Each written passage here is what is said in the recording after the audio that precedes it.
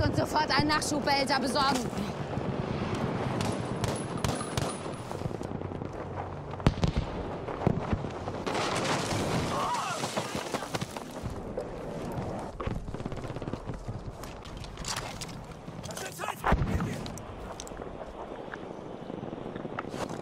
Werft bitte einen Nachschubbehälter für uns ab.